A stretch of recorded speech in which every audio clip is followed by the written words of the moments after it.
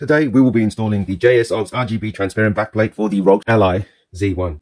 So let's grab everything out of this box. So here are all your parts. Okay, you get some tools, some buttons, cable, your backplate itself. You get some uh, button covers. They also give you some gloves that you can use, but we're not going to use that. And then you also get a pry tool, warranty card, and a heatsink as well. All right, with all that removed, let's go ahead and install it. First, let's take everything out. So I can see here that you do need to remove the buttons from your original backplate and install them onto here.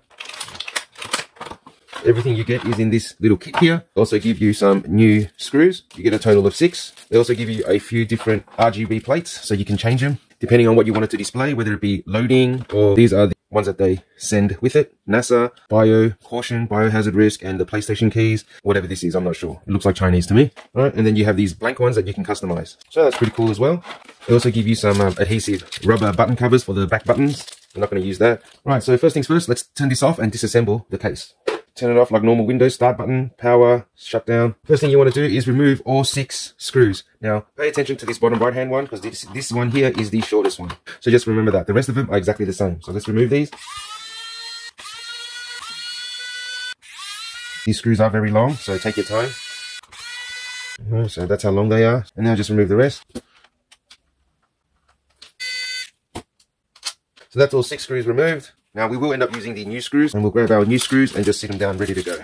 Right, now get your pry tool. They also give you a screwdriver to use, but I'm just using my electric because it's faster. Now go ahead and grab your pry tool and just go in between and push and pry. And then follow it all the way around. Not too deep, just enough. There we go. And that's how you remove the back cover. Now, so here I'm just going to use the actual tool here. What you need to do is remove these two screws and then these two here. This one here, and there is a spring under here. So just remember that. Take that out, grab the spring and set that aside. Do the same to this side here. Grab the spring. Now, to remove these ones here, you've got two screws. Now, in order to get it out, you need to pry it over the clip here. You can see there's a little white tab there. Just pry that off it, like that. That's it.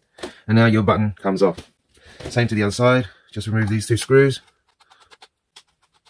And just pry it up or lift it. It's up to you how you do it. There we go. And then this side here. And lift. Now you need to remove these buttons. There's two clips. Push on the top and then push on the bottom and then push it out. There we go. It just flicks straight out. Do the same for this side. Push on that clip. Push on this clip. Keep pushing on them. To help it out, you can just use a screwdriver and just push it through. There we go.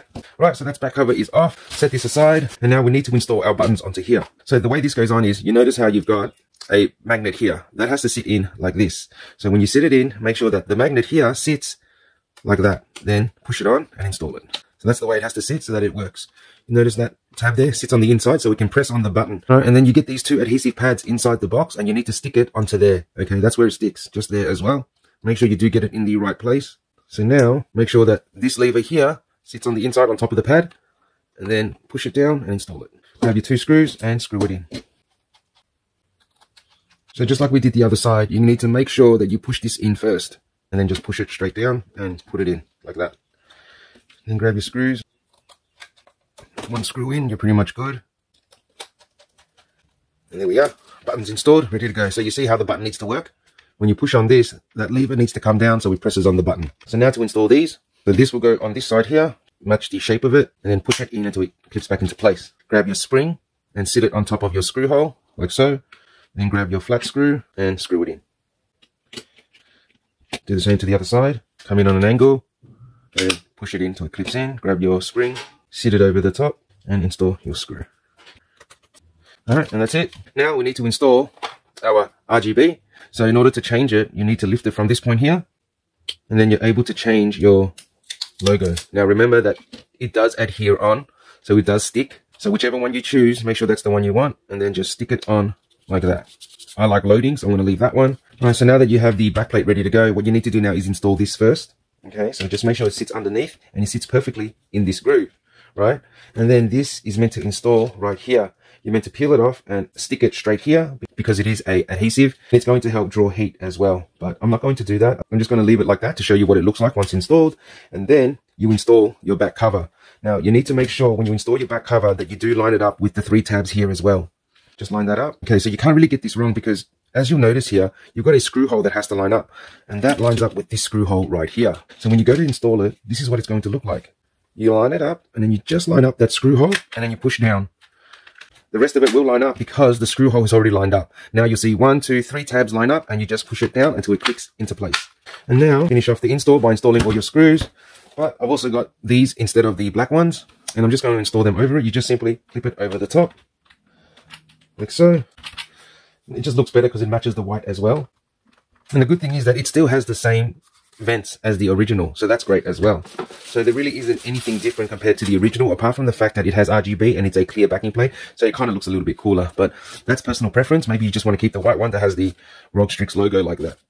It's totally up to you. That's not a big deal to me. And that's what it looks like when it's done. Now make sure you test it before you screw it in, make sure everything works. Alright, so let's jump. Webs move, yep. We can aim with the left button here. There we go, we're aiming, good. And we swing with the right button up the top here. So we jump and we swing. Everything works as it should. Now just to show you how the RGB works, so you have a button here and the charge port is here. It has its own built-in little lithium battery inside here, so you hold this button here and just like that, voila. Now you can change the colors or just turn it off completely. now you can also charge it like so. See the green light comes on there, that's letting you know that it's charging. Another cool thing about this whole JSAUX kit is they also give you this little dust cover.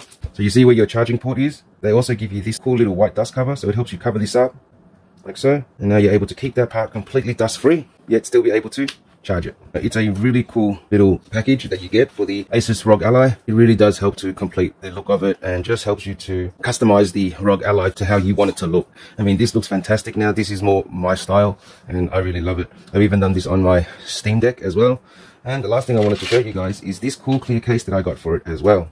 Now, the only difference with this clear case is once you put it on, you are unable to control the RGB. So now we will install this, all right? You just put it, sit it on like so, sit it over the top. As you can see, all the buttons are showing, so everything will be accessible button-wise. And you just clip it straight on like so. And now you have a plastic cover that completely protects your ROG Ally. It doesn't take away from the look of it because it's see-through, transparent, and you can see the entire ROG Ally. The Coolest thing about it is that it also has a stand. So you're able to connect a controller and play. Okay, so we can see the Xbox wireless controller. Click on that, we'll connect the device up, allow, and look at that, we are now connected. All right, let's do this. Do this. Okay?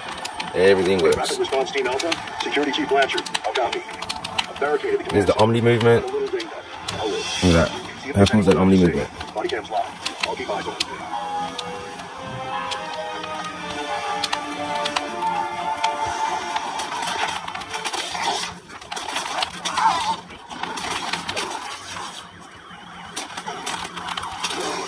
This is such a small screen. It's better if you connect it to a TV, which I'll show you in just a second. You can treat it just like a normal console.